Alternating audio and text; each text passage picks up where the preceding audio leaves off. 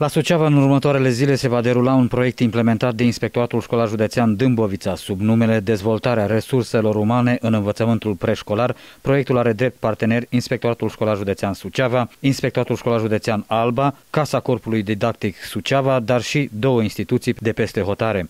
Pentru început se vor desfășura o serie de seminarii ce presupun diseminarea informațiilor aduse de specialiștii străini în învățământul preșcolar. În perioada 7-8 decembrie 2011 vor avea loc seminariile de diseminare în cadrul acestui proiect. Este un proiect uh, postdru uh, implementat de Inspectoratul Școlar al județului Dâmbovița. Uh, noi, Inspectoratul Școlar al județului Suceava, suntem parteneri în acest proiect alături de județul Alba, de Casa Corpului Didactic din Dâmbovița, de SC Mondo Consulting Trading SRL și Regio Children Italia. Carcalete a arătat că scopul seminariilor este de prezentarea unor exemple de bună practică în învățământul preșcolar.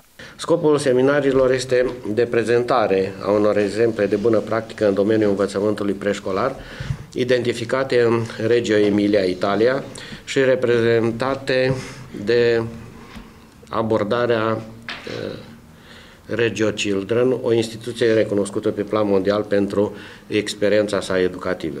La acest eveniment vor participa 50 de cadre didactice din învățământul preșcolar din județul Suceava, membri ai echipei de management, reprezentanți ai conducerii Inspectoratului Școlar Suceava și două formatoare din partea partenerului Regio Children, și anume doamnele Antonia Ferrari și Mara Davoli. Întreg proiectul are scopul de a promova transferul de experiență și bună practică în ceea ce privește dezvoltarea profesionalismului cadrelor didactice din învățământul preșcolar.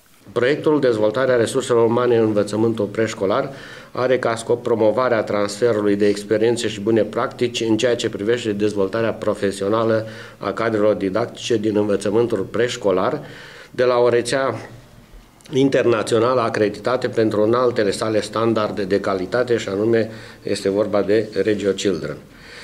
Toate acestea sunt transferate către sistemul educațional din România, precum și îmbunătățirea ofertei de programe de dezvoltare profesionale în județele Dâmbovița, Alba, Suceava, Prahova, Mureș și Botoșani. Carcalite a mai declarat că după Suceava, următoarea acțiune se va desfășura la Târgu Mureș.